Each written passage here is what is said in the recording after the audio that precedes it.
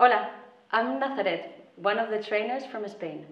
Um, I would like to share our, our experience as a trainers and on behalf of the trainers, how happy we are about the results of the project.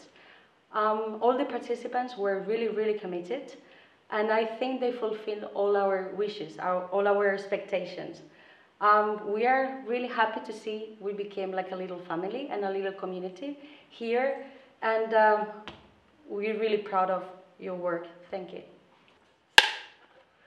Cześć, my name is Bartek. I'm coming from uh, Poland and I uh, was I was having the privilege to be trained during this training course.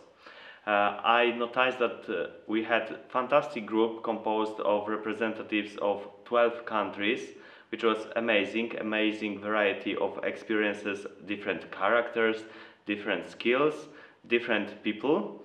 And I noticed what made me very happy during these trainings that those people learned how to work together, how to focus, how to motivate themselves, how to exchange experiences, and how to control themselves in the name of creating something good for the group. I'm really proud of them and very happy of this training.